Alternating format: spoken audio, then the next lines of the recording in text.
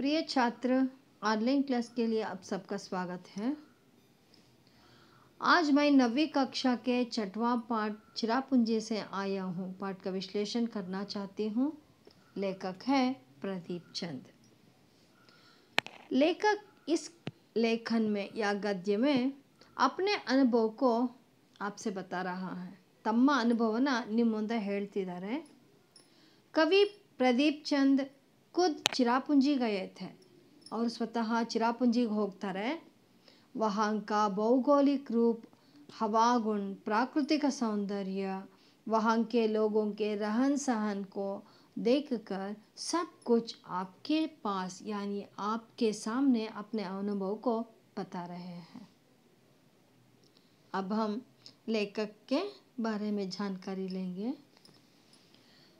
लेखक है प्रदीप चंद जी का जन्म लखनऊ के हल्द्वाड़ी उत्तराखंड में 24 अप्रैल 1941 को हुआ ಪ್ರದೀಪ್ ಚಂದ್ರ ಅವರ ಜನ್ಮ ಉತ್ತರಾಖಂಡದ ಲಕ್ನೋನ ಹಲ್ದ್ವಾಡಿ ಅಂದೋ ಕಡೆ ಏಪ್ರಿಲ್ ಇಪ್ಪತ್ನಾಲ್ಕು ಸಾವಿರದ ಒಂಬೈನೂರ ನಲವತ್ತರಲ್ಲಿ ಆಯಿತು ಪಂತ್ ಜಿ ಕೆ ಅಬ್ ತಕ್ ಛೇ ಉಪನ್ಯಾಸ ಪ್ರಕಾಶಿತ ಹೈ. ಇದುವರೆಗೆ ಅವರು ಆರು ಉಪನ್ಯಾಸಗಳು, ಉಪನ್ಯಾಸ ಅಂತಂದಾಗ ನಿಮಗೆ ಗೊತ್ತಿರುವ ಕಾದಂಬರಿಗಳು.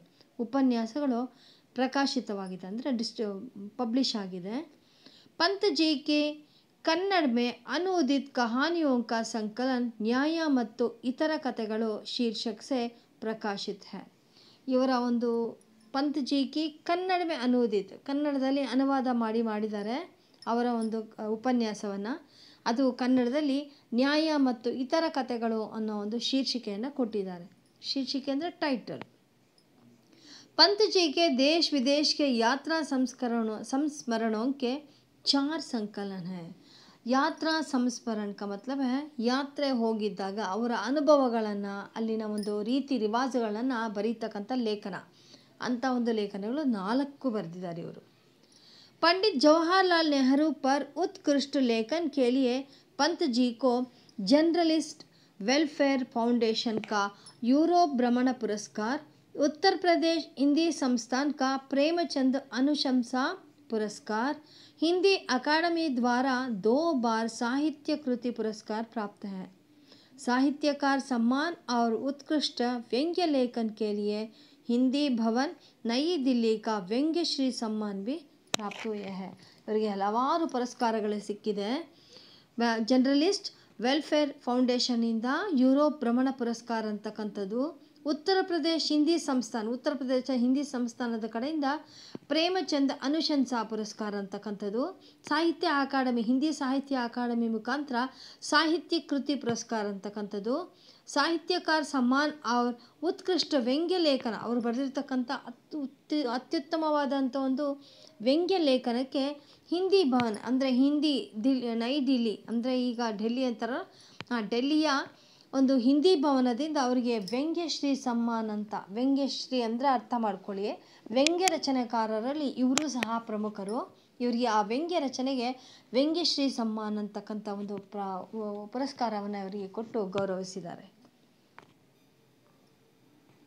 अब आएंगे शब्दार्थ के बारे में इस पाठ में आने वाली कठिन शब्दार्थ को हम पहले समझेंगे अर्थ शब्दार्थ है उमड़ गुमड़ चारों ओर से गिरना ಉಮಡ್ ಗುಮಡ್ ಅಂದರೆ ಗುಡುಗೋದು ಮಳೆ ಹನಿ ನಾಲ್ಕು ಕಡೆ ಬರ್ತಕ್ಕ ಗಿರ್ನ ಅಂದರೆ ಬೀಳ್ತಕ್ಕಂಥದ್ದು ಏಕತ್ರಿತ್ ಹೋನ ಛಾನ ಹರಿತಿಮ ಹರಿತಿಮ का मतलब है ಹರಿಯಾಲಿ ಹರಾಪನ್ ಹಚ್ಚ ಹಸಿರು ದರಖ್ತ್ ಅಂದರೆ ಪೇಡ್, ವೃಕ್ಷ, ಪಟ, ಭರ ಬೂಂದಾ ಬಾಂದಿ ವರ್ಷ ಬಾದಲೊನ್ಸೆ ಗಿರ್ನೆ ವಾಲಿ, ಜಲ್ಕಿ ಬೂಂದೆ, ಹನಿ ಹನಿಯಾಗಿ ಬೀಳ್ತಕ್ಕಂಥ ಮಳೆ. ಕಪತ್, ಮಾಲ್ಕಿ ಬಿಕ್ರಿ ಅಂದರೆ ಯಾವುದೇ ಒಂದು ವಸ್ತುವಿನ ವ್ಯಾಪಾರ. ಪನ್ ಬಿಜ್ಲಿ ಜಲವಿದ್ಯುತ್ ಅಂದರೆ ಒಂದು ವಾಟರ್, ಎಲೆಕ್ಟ್ರಿಸಿಟಿ ಅಂತ ಏನು ಕರಿತೀರಾ? ಅದು. ನಿಹಾರ್ನ, ಧ್ಯಾನಪೂರ್ವಕ್ ದೇಖ್ನ ಕುಹ್ರಾ धुंध ಕೋಹ್ರಾ, ಮಂಜು, ಅಂಚಲ್, ಪ್ರಾಂತ್, ಸೀಮಾಕ, ಸಮೀಪವರ್ತಿ ಭಾಗ್. ಅಂದರೆ ಒಂದು ಬಾರ್ಡ್ರ್ ಅಂತ ಹೇಳ್ತಾರಲ್ಲ, ಆ ಬಾರ್ಡ್ರಿಗೆ ಇರ್ತಕ್ಕಂಥ ಸಮೀಪದಲ್ಲಿರ್ತಕ್ಕಂಥ ಒಂದು ಭಾಗ, ಒಂದು ಪ್ರಾಂತ್ಯ. ವರ್ಚಸ್ವ, ಅಧಿಕ, ಅಧಿಪತ್ಯ, ಪ್ರಾಲ, ಪ್ರಾಬಲ್ಯ. ಅಂದರೆ ಇಲ್ಲಿ ಪ್ರಾಬಲ್ಯ ಪಡೆದಿರ್ತಕ್ಕಂಥದ್ದು, ಪ್ರಬಲವಾಗಿರ್ತಕ್ಕಂಥದ್ದು. ಗುಸ್ನ, ಪ್ರವೇಶ್ ಕರ್ನ, ನುಗ್ಗೋದು. ಬೀತರ್ ಜನ ಅಂದರೆ ಒಳಗೆ ನುಗ್ತಕ್ಕಂಥದ್ದು. ತಮಾಮ್, ಸಾರಾ, ಸಮಸ್ತ. ಸಾರ ಅಂದರೆ ಎಲ್ಲವೂ. ಸೌದಾ, ಕ್ರಯ ಕ್ರಯ ವಿಕ್ರಯಕಿ ವಸ್ತು ಯಾ ಮಾಲ್. ಅಂದರೆ ಸೌದಾ ಅಂದರೆ ವ್ಯಾಪಾರ. ಒಂದು ವಸ್ತು ಕೊಳ್ಬೋದು ಅಥವಾ ತಗೊಳ್ಬೋದು. ಕ್ರಯ ಅಂದರೆ ಕೊಳ್ಳೋದು, ವಿಕ್ರಯ ಅಂದರೆ ಕೊಡ್ತಕ್ಕಂಥದ್ದು. ಬೇಹಿಚಕ್, ನಿಸ್ಸಂಕೋಚ್. ಯಾವುದೇ ರೀತಿಯ ಸಂಕೋಚ ಇಲ್ಲದೆ ಇರ್ತಕ್ಕಂಥದ್ದು. ಮೋಡ್ ರಾಸ್ತೆ ಆದಿ ಕಾ ಗುಮಾವ್ದಾರ್ ಸ್ಥಾನ್ ಅಂದರೆ ಒಂದು ಟರ್ನಿಂಗ್ ಅಂತ ಕರುಸ್ ಪ್ರತಾಪ್ प्र सॉरी प्रपात प्रपात का मतलब है ಒಂದು ಫಾಲ್ಸ್ ವಾಟರ್ ಫಾಲ್ಸ್ ऊंचे स्थान से गिरने वाली जलधारा ಬೇರೋಕ್ ಕಟೋಕ್ ಬಿನಾ ಕಿಸಿ ರುಕಾವಟ್ಗೆ ಯಾವುದೇ ರೀತಿಯ ತಡೆ ಇಲ್ಲದೆ ಇರ್ತಕ್ಕಂಥದ್ದು ಲುಕ ಚುಪಿ ಚಿಪಿ ಕ ಮತಲಬ್ ಹೇ ಬಚ್ಚಿಟ್ಕೊಂಡಿರ್ತಕ್ಕಂಥದ್ದು ಆಂಕು ಮಿಚೌನಿ ಅಂತಾರೆ ಲುಕಾ ಚಿಪಿ ಕ ಮತಲಬ್ ಹೇ ಲುಕಾ ಕ ಮತಲಬ್ ಹೇ ಆಂಕ್ ಚಿಪಿ ಕ ಮತಲಬ್ ಹೇ ಬಿಚೌಲಿ ಅಂದರೆ ಹೈಡ್ ಆ್ಯಂಡ್ ಸೀಕ್ ಅಂತ ಕಣ್ಣ ಮುಚ್ಚಾಲೆ ಆಟ ಸತಃ ಕಿಸಿ ವಸ್ತುಕ್ಕೆ ಊಪರಿ ಭಾಗ ಅಂದರೆ ಸರ್ಫೇಸ್ ಅಂತ ಏನು ಹೇಳ್ತೀವಿ ತಳಪಾಯ ಅಂತ मशाल एक प्रकार की मोटी बत्ती जो लकड़ी पर ಕಪಡ ಲಪೇಟ್ ಕರ್ ಅಧಿಕ ಪ್ರಕಾಶ್ ಕೆಲಿಯ ಜಲಾಯಿ ತೇತೆ ಪಂಜ್ ಅಂತ ಕರೀತಾರಲ್ಲ ಪಂಜು ಅಂತ ಕರೀತಾರೆ ಈ ಕೋಲಿಗೆ ಬಟ್ಟೆಯನ್ನು ಸುತ್ತಿ, ಆ ಮೂರು ಥರದ ಎಣ್ಣೆಯಲ್ಲಿ ಮಿಕ್ಸ್ ಮಾಡಿ ಅದನ್ನು ಇಟ್ಕೊಳ್ತಾರೆ. ಹಿಂದಿನ ಕಾಲದಲ್ಲೂ ಈಗಲೂ ಕೆಲವು ಕಡೆ ಕಂಡು ಬರುತ್ತೆ ನಮಗೆ ಹಳ್ಳಿಗಳ ಕಡೆ. ಅದು ಬೆಳಕಿಗೋಸ್ಕರ ಅದನ್ನು ಇಟ್ಕೊಂಡು ಹೋಗೋದುಂಟು ಮೊದಲಿಗೆ ಇದೆಲ್ಲ ಇರಲಿಲ್ಲ ಎಲೆಕ್ಟ್ರಿಸಿಟಿ ಇನ್ನೊಂದು ಮತ್ತೊಂದು ಯಾವುದೇ ರೀತಿ ಇರಲಿಲ್ಲ. ಸೊ ದೀಪದ ಬುಟ್ಟಿಯನ್ನು ಹಾಕ್ತಿದ್ರು ಮತ್ತು ಈ ಪಂಜನ ಉರಿಸ್ಕೊಂಡು ಊರಿಂದ ಊರಿಗೆ ಪ್ರಯಾಣವನ್ನು ಮಾಡ್ತಿದ್ರು. ಬೆಳಕಿಗೋಸ್ಕರ ಮಾಡ್ತಕ್ಕಂಥ ಒಂದು ಉಪಯೋಗ ಅಷ್ಟೆ. ಆಶಯ ಈ ಪಾಠದ ಮುಖ್ಯ ಉದ್ದೇಶ. ಯಾತ್ರಾ ಸೆ ಪ್ರಾದೇಶಿಕ ಪ್ರಾದೇಶಿಕ ಜ್ಞಾನ ಪ್ರಾಪ್ತ ಹೋತಾ ಇದರಿಂದ ಯಾತ್ರೆಗಳು ಹೋಗೋದ್ರಿಂದ ಏನಪ್ಪ ಅಂದರೆ ಆ ಪ್ರಾದೇ, ಆ ಪ್ರಾದೇಶಿಕ ಅಂದರೆ ಆ ಪ್ರದೇಶದ ಜ್ಞಾನ ಸಿಗತ್ತೆ. ಅಂದರೆ ಆ ಪ್ರದೇಶದ ಒಂದು ಮಾ, ಮಾತಾಗಿರ್ಬೋದು ಅಥವಾ ಒಂದು ಹವ್ಯಾಸಗಳಾಗಿರ್ಬೋದು ಅಥವಾ ಪ್ರಾಕೃತಿಕ ಸೌಂದರ್ಯ ಆಗಿರ್ಬೋದು, ಭೌಗೋಳಿಕ ರೀತಿಯಲ್ಲಿ ಒಂದು ಸಂಬಂಧ ಆಗಿರಬಹುದು. ಲೋಗೋಂಕೆ ರಹನ್ ಸಹ ಅಂದರೆ ಆ ವ್ಯಕ್ತಿಗಳ ಒಂದು ರೀತಿ ರಿವಾಜುಗಳಾಗಿರ್ಬೋದು. ಇವೆಲ್ಲವನ್ನು ತಿಳ್ಕೊಬೇಕು ಅಂದರೆ ಮೊದಲೇ ಹೇಳ್ತಾರ ಹಿರಿಯರು, ದೇಶ ಸುತ್ತಿ ನೋಡು, ಕೋಶ ಓದಿ ನೋಡು. ಕೋಶ ಅಂತ ಶಬ್ದಕೋಶವನ್ನು ನೋಡಿದಾಗ ಒಂದು ಪದಕ್ಕೆ ನಾನಾ ಅರ್ಥ ಸಿಗುತ್ತೆ. ಹಾಗೆಯೇ ದೇಶ ಒಂದು ರೀತಿಯಲ್ಲಿ ನಾವು ಸುತ್ತಕ್ಕೋದ್ರೆ ಮತ್ತೇನೋ ನಾವು ತಿಳ್ಕೊಳ್ಳೋ ಅವಕಾಶ ಸಿಗುತ್ತೆ. ನಾವೇನಂತ ಹೋಗ್ತೀವಿ? ಅದೊಂದು ಟೂರಿಸಮ್ ಪ್ಲೇಸ್ಗೆ ಹೋದಾಗ ಒಂದೇ ಪ್ಲೇಸ್ ನೋಡ್ತೀವಿ ಅಂತ ಹೋಗ್ತೀವಿ. ಬಟ್ ಅಲ್ಲಿ ಸಾಕಷ್ಟು ವಿಷಯಗಳು ತಿಳ್ಕೊಳ್ತೀವಿ. ನಾವು ಹೋಗೋದೇ ಬೇರೆದಕ್ಕೆ, ಮತ್ತೇನೇನೋ ಜ್ಞಾನವನ್ನು ಅರ್ಜನೆ ಮಾಡ್ತೀವಲ್ಲ, ಅದೇ ರೀತಿ. ಪ್ರಾದೇಶಿಕ ಜ್ಞಾನವನ್ನು ಪಡ್ಕೊಳ್ಳೋದಕ್ಕೆ ನಾವೇನು ಮಾಡಬೇಕು? ಯಾತ್ರೆಯನ್ನು ಹೊರಡಬೇಕು. ಆ ಪ್ರದೇಶದಲ್ಲಿ ಆಗ್ತಕ್ಕಂಥ ರೀತಿ ನಿವಾಜು ಅಥವಾ ಒಂದು ಬೆಳೆ ಅಥವಾ ಅತ್ಯುತ್ತಮವಾದ ಒಂದು ತಿಂಡಿ, ತಿನಿಸು ಎಲ್ಲವನ್ನ ತಿಳ್ಕೊಬೇಕು ಅಂದರೆ ಯಾತ್ರೆ ಹೋಗಬೇಕು. ಯಾತ್ರೆ ಹೋದರೆ ಮಾತ್ರ ನಮ್ಗೆ ಆ ವಿಷಯಗಳು ಚೆನ್ನಾಗಿ ಜ್ಞಾನವಾಗ, ಜ್ಞಾನ ಅರ್ಜನೆ ಮಾಡ್ಬೋದು. ಲೋಗೋಂಕೆ ಅದ ಹೇಳ್ತಾರೆ ನೋಡಿ. ಲೋಗೋಂಕೆ, ರಹನ್ ಸಹನ್, ಪ್ರಾಕೃತಿಕ ದೃಶ್ಯೋಂಕ, ಸೌಂದರ್ಯ ಆದಿ ಪ್ರತ್ಯಕ್ಷ ಅನುಭವ ಮಿಲ್ತಾ ಹೇಳೋದೇ ಬೇರೆ, ಕಥೆಯಲ್ಲಿ ಹೇಳೋದೇ ಬೇರೆ ಕತೆನ ಕೇಳೋದೇ ಬೇರೆ, ನೋಡೋದೇ ಬೇರೆ. ನಾವು ಯಾವುದೇ ಒಂದು ಚಿತ್ರಣವನ್ನು ಇವಾಗ ಮಹಾಭಾರತ ಬರ್ತಿದೆ ಎಕ್ಸ್ಪೆಷಲಿ ಸ್ಪೆಷಲೈಸ್ ಆಗಿ ಹೇಳೋದಾದರೆ ಮಹಾಭಾರತ ಬರ್ತಿದೆ. ನಾವು ಹಾಗಿತ್ತಂತೆ, ಪಾಂಡವರು ಹಾಗಂತೆ, ಹೀಗಂತೆ ಅಂತ ಕೇಳೋದೇ ಬೇರೆ. ಪ್ರಾಕ್ಟಿಕಲಾಗಿ ನಮ್ಮ ಕಣ್ಮುಂದೆ ಆ ಚಿತ್ರಣ ಬಂದಾಗ ಮತ್ತಷ್ಟು ಅದರ ಬಗ್ಗೆ ಹೆಚ್ಚಿನ ಮಾಹಿತಿ ಸಿಗುತ್ತೆ, ಅದು ನಮ್ಮ ಮನಸ್ಸಲ್ಲಿ ಅಚ್ಚಳಿದೆ, ಉಳಿಯುತ್ತೆ. ಈ ಸ್ಪಾಟ್ ದ್ವಾರ ಛಾತ್ರ, ಚಿರಾಪುಂಜಿಕ ಪರಿಚಯ ಪ್ರಾಪ್ತ ಕರ್ತೆ ಹೇ. ಅಂದರೆ ಈ ಒಂದು ಪಾಠದ ಮುಖಾಂತರ ಚಿರಾಪುಂಜಿ ನಾವು ನೋಡೋಕ್ಕಾಗಿಲ್ಲ ಅಂದರೂ ಅಟ್ಲೀಸ್ಟ್ ಆ ಚಿರಾಪುಂಜಿಯ ಒಂದು ಇಮ್ಯಾಜಿನ್ ಹೀಗಿದೆ ಅಂತ ಅನುಭವ ಹೇಳಿದಾಗ ಒಂದು ಅರ್ಧ ಮಟ್ಟಿಗೆ ಅಂದರೆ ಅದರಲ್ಲಿ ಒಂದು ಫಿಫ್ಟಿ ಪರ್ಸೆಂಟು ನಮಗೆ ಓ ಚಿರಾಪುಂಜಿ ಹೀಗಿರ್ಬೋದಾ ಅನಿಸುತ್ತೆ ಸೊ ಅಲ್ಲಿ ಸ್ಪಾಟಿಗೆ ಹೋದಾಗ ಅದರ ಅನುಭವನೇ ಬೇರೆ ಆಗಿರುತ್ತೆ ಅನುಭವವನ್ನು ಲೇಖಕರು ಅನುಭವವನ್ನು ಇಲ್ಲಿ ಹಂಚ್ಕೊಳ್ಳೋ ಪ್ರಯತ್ನ ಮಾಡಿದ್ದಾರೆ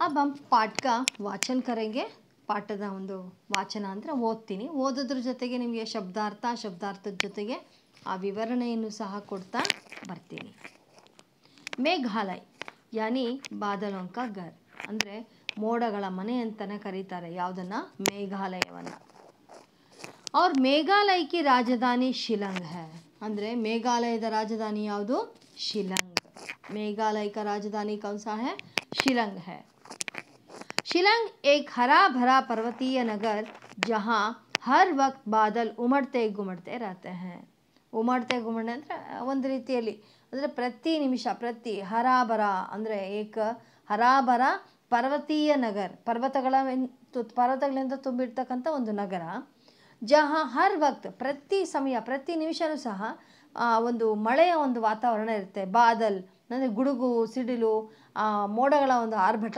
ಕೇಳಿಸ್ತಾನೆ ಇರುತ್ತೆ.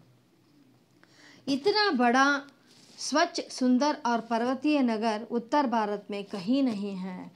ಅಂದರೆ ಇಷ್ಟು ದೊಡ್ಡದಾದ, ಸ್ವಚ್ಛವಾದ, ಸುಂದರವಾದ ಪರ್ವತ ಪ್ರದೇಶ ಉತ್ತರ ಭಾರತದಲ್ಲಿ ನಮಗೆ ಎಲ್ಲೂ ಕಾಣಿಸೋದಿಲ್ಲ.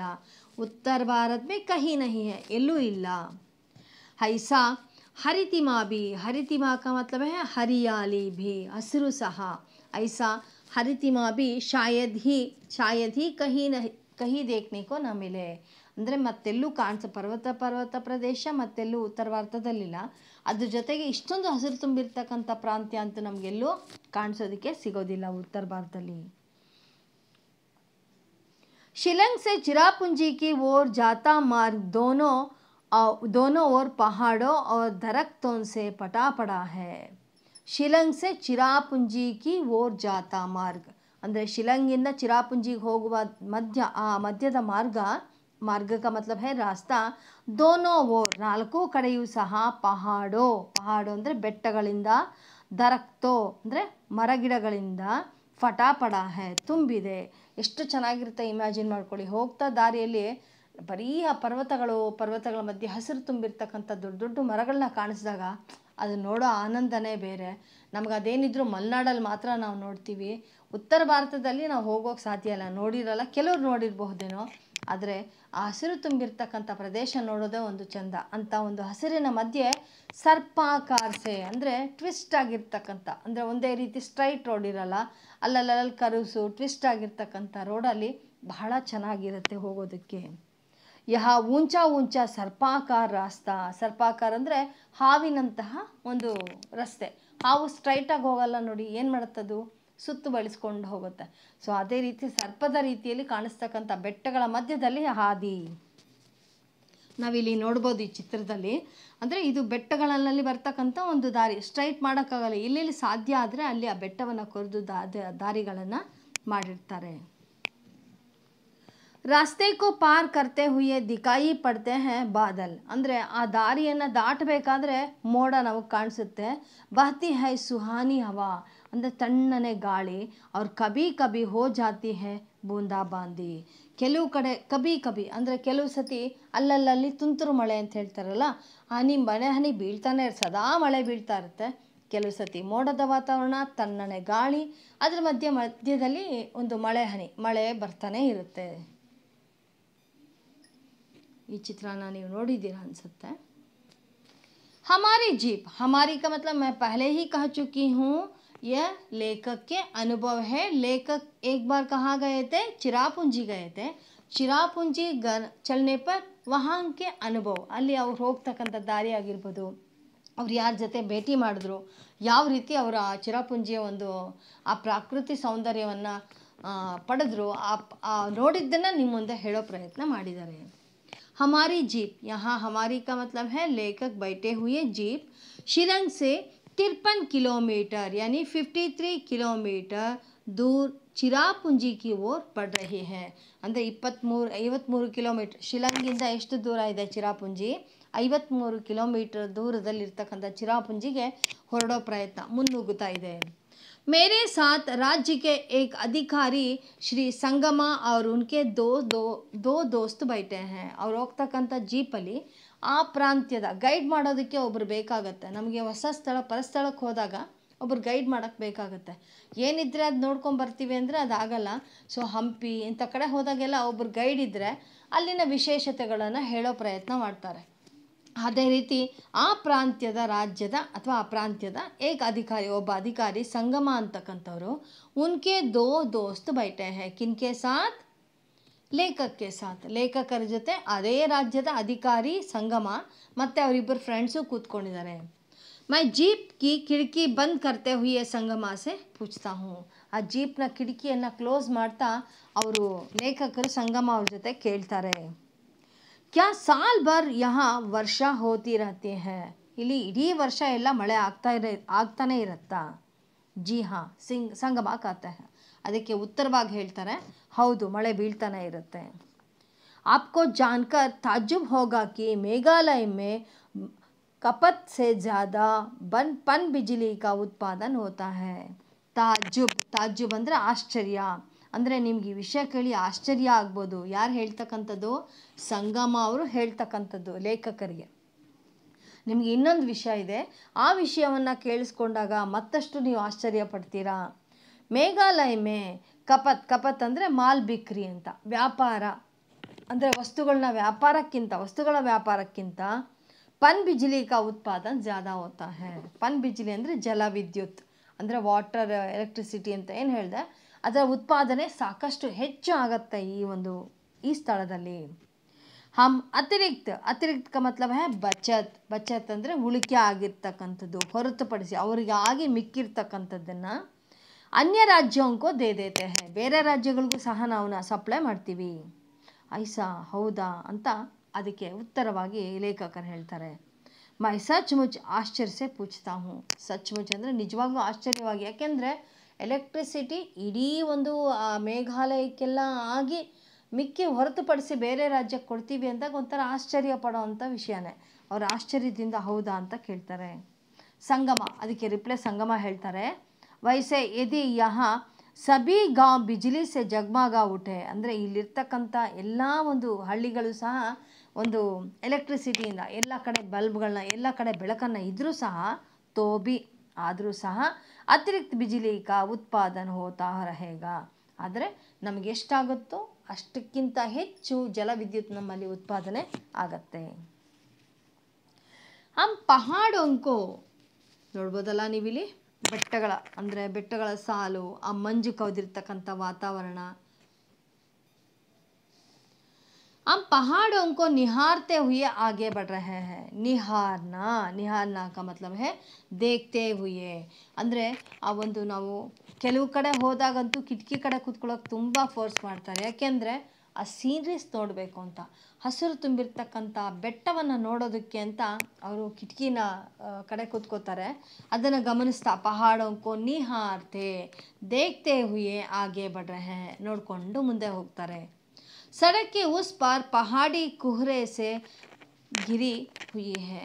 ಮತ್ತೊಂದು, ಸಡಕ್ಕೆ ಉಸ್ ಪಾರ್, ಅಂದರೆ ನಾವು ಹೋಗ್ತಾ ಇರ್ತಕ್ಕಂಥ ಪಕ್ಕದಲ್ಲಿ ಆ ಒಂದು ಕಡೆ ಪಹಾಡಿ ಕುಹರೆಸೆ ಇಡೀ ಬೆಟ್ಟ ಎಲ್ಲ ಮಂಜಿನಿಂದ ತುಂಬಿರ್ತಕ್ಕಂಥದ್ದು ಯಾನಿ ಕುಹರೆ का मतलब है धुंध से ಗ- ಘೇರೆ ಹುಯೆ ಹೇ ಗಿರಿ ಹುಯೆ का मतलब है ಘೇರೆ ಹುಯೆ ಹೇ ಸುತ್ತುವರೆದಿದೆ ಇಡೀ ಬೆಟ್ಟ ಎಲ್ಲ ಮಂಜು ಆವರಿಸ್ಬಿಟ್ಟಿದೆ तीन पर्वतीय अंचलों में बंटा हु बटा हुआ है ಮೇಘಾಲಯ ಅಂದರೆ ಮೂರು ಪರ್ವತಗಳಿಂದ ಆ ಮೇಘಾಲಯ ಕೂಡಿದೆ ಅದು ಯಾವುದಪ್ಪ ಅಂದರೆ ಖಾಸಿ ಪರ್ವತ್ ಗಾರೋ ಪರ್ವತ್ ಅವ್ರ ಜಯಂತಿಯ ಪರ್ವತ್ ಅಂದರೆ ಆ ಮೂರು ಪರ್ವತಗಳು ಯಾವುದಪ್ಪ ಅಂದರೆ ಖಾಸಿ ಗಾರೋ ಮತ್ತು ಜಯಂತಿಯ ಈ ಮೂರು ಪರ್ವತಗಳಿಂದ ತುಂಬಿರ್ತಕ್ಕಂಥದ್ದೇ ಮೇಘಾಲಯ ಪರ್ವತಗಳ ಮೇಲೆ और इन्हीं तीन पर्वतीय अंचलों से बने हैं ಪಾಂಚ್ ಜಿಲ್ಲೆ ಅಂದರೆ ಈ ಪರ್ವತ ಮೂರು ಪರ್ವತಗಳ ಅಂಚಲವು, ಅಂಚಲ ಅಂದರೆ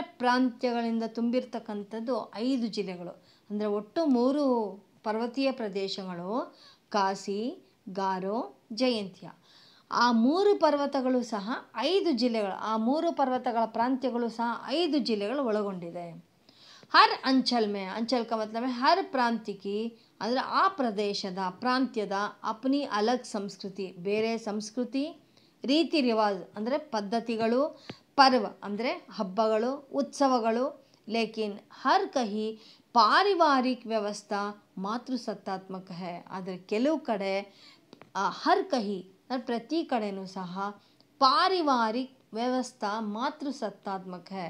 ಪರಿವಾರದ ವ್ಯವಸ್ಥೆ ಮಾತೃ ಸತ್ತಾತ್ಮಕ ಅಂದರೆ ಮಾತೃ ಪ್ರಧಾನವಾಗಿದೆ. ಇಸ್ಕ ಮತ್ಲಬ್ ಹೇ, ಭೂಮಿ, ಧನ್, ಸಂಪತ್ತಿ ಸಬ್ ಮಾಸೆ ಭೇಟಿ ಬೇಟಿ ಕೋ ಮಿಲ್ತಿ ಹೇ. ಅಂದರೆ ಭೂಮಿ ಆಗಿರ್ಬೋದು, ಹಣ ಆಗಿರ್ಬೋದು, ಸಂಪತ್ತಾಗಿರ್ಬೋದು, ತಾಯಿಯಿಂದ ಮಗಳಿಗೆ ಸಿಗುತ್ತೆ. ನಮ್ಮ ಕಡೆ ಹೇಗಪ್ಪ ಅಂದರೆ ತಂದೆಯಿಂದ ಪಿತ್ರಾರ್ಜಿತ ಅಂತ ಕರಿತೀವಿ. ತಂದೆಯಿಂದ ಮಕ್ಕಳಿಗೆ ಸೇರ್ತಕ್ಕಂಥದ್ದು ಇಲ್ಲಿ ಹೇಗಪ್ಪ ಅಂದರೆ ತಾಯಿಯಿಂದ ಮಗಳಿಗೆ ಧನ, ಸಂಪತ್ತು ಮತ್ತು ಆ ಜಮೀನು ಏನಿದೆ, ಭೂಮಿ ಅದು ಸಿಗುತ್ತಂತೆ.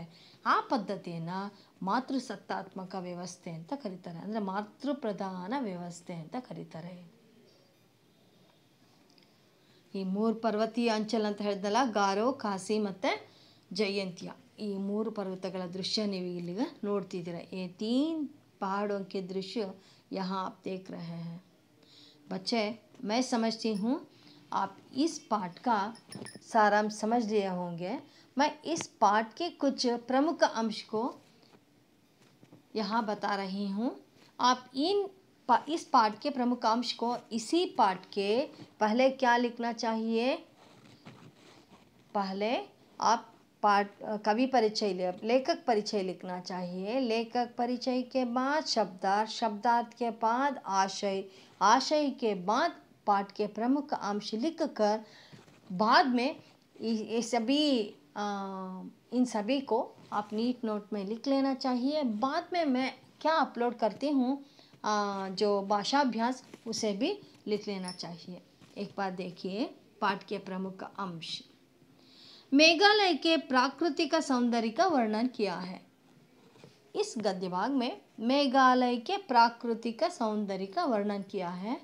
मेघालय के राजधानी शिलंग है। शिलंग से तिरपन किलोमीटर दूर पर चिरापुंजी है। ಅಂದರೆ ಚಿರಾಪುಂಜಿ ಶಿಲಂಗಿಂದ ಐವತ್ತ್ಮೂರು ಕಿಲೋಮೀಟರ್ ದೂರದಲ್ಲಿ ಇದೆ. ಯಹ ಕಪತ್ಸೆ ಜಾದ ಪನ್ ಬಿಜಿಲಿ ಕಿ ಉತ್ಪಾದನ್ ಅಧಿಕ ಹೋತಿ ಹೇ. ಇಲ್ಲೇನಪ್ಪ ಅಂದರೆ ಪನ್ ಬಿಜಿಲಿ ಅಂದರೆ ಹೇಳಿದ್ನಲ್ಲ ಜಲವಿದ್ಯುತ್. ವ್ಯಾಪಾರಕ್ಕಿಂತ ಜಲವಿದ್ಯುತ್ನ ಉತ್ಪಾದನೆ ಹೆಚ್ಚು. ಮೇಘಾಲಯಕ್ಕೆ ತೀನ್ ಪರ್ವತೀಯ ಅಂಚಲೋಂಕೆ ಪರಿಚಯ. ಅಂದರೆ ಮೇಘಾಲಯದ ಮೂರು ಪರ್ವತೀಯ ಪ್ರದೇಶಗಳ ಪರಿಚಯ. ಅದ್ಯಾವುದಪ್ಪ ಅಂದರೆ ಖಾಸಿ ಗಾರೋ ಅವ್ರ ಜಯಂತಿಯ ಪರ್ವತೋಂಕೆ के ಪ್ರಮುಖತಾ का ಪರಿಚಯ, ಆ ಪ್ರಮುಖತೆಯ ಬಗ್ಗೆ ಪರಿಚಯ. ಅದ್ರ ಜೊತೆಗೆ ಮಾತೃ ಸತ್ತಾತ್ಮಕ ವ್ಯವಸ್ಥಾಕ್ಕೆ ಬಾರವೇ ಜಾನ್ಕಾರಿ. ಮಾತೃ ಸತ್ತಾತ್ಮಕ ಅಂದರೆ ಹೇಳಿದ್ದೀನಲ್ಲ ಮಾತೃ ಪ್ರಧಾನ ವ್ಯವಸ್ಥೆ ಅಲ್ಲಿ ರೂಢಿಸ್ಕೊಂಡಿದ್ದಾರೆ. ಅಂದರೆ ತಾಯಿಯಿಂದ ಮಗಳಿಗೆ ಆಸ್ತಿ ಆಗಿರ್ಬೋದು, ಹಣ ಆಗಿರ್ಬೋದು ಅಥವಾ ಸಂಪತ್ತಾಗಿರ್ಬೋದು, ಅದು ತಾಯಿಯಿಂದ ಮಗಳಿಗೆ ಹೋಗ್ತಕ್ಕಂಥ ವ್ಯವಸ್ಥೆಯನ್ನು ಮಾತೃ ಸತ್ತಾತ್ಮಕ ಅಂದರೆ ಮಾತೃ ಪ್ರಧಾನ ವ್ಯವಸ್ಥೆ ಅಂತ ಕರೀತಾರೆ. ಧನ್ಯವಾದ.